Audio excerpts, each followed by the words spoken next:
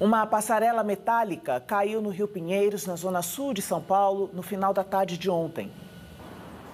Hoje pela manhã, equipes trabalhavam na retirada da estrutura. Ela fazia parte da obra de extensão da plataforma de embarque da estação Santo Amaro da linha 5, Lilás, do metrô, prevista para ser entregue no início de 2022. De acordo com o Corpo de Bombeiros, uma ruptura na armação metálica teria causado a queda. Como era uma obra em andamento, não havia passageiros no local. Dois trabalhadores da concessionária Via Mobilidade, que operam a linha Lilás do metrô, caíram nas margens do Rio Pinheiros. Ficaram levemente feridos e receberam atendimento médico. Em nota, a Via Mobilidade afirmou que apura as causas do acidente. Tanto o metrô quanto a CPTM mantiveram a operação normal dos trens. Segundo a Secretaria de Transportes Metropolitanos, o acidente não causou prejuízos para o Estado porque a obra está coberta por seguro. A ciclovia da marginal do Rio Pinheiros não foi atingida, mas teve um trecho interditado sem previsão para liberação.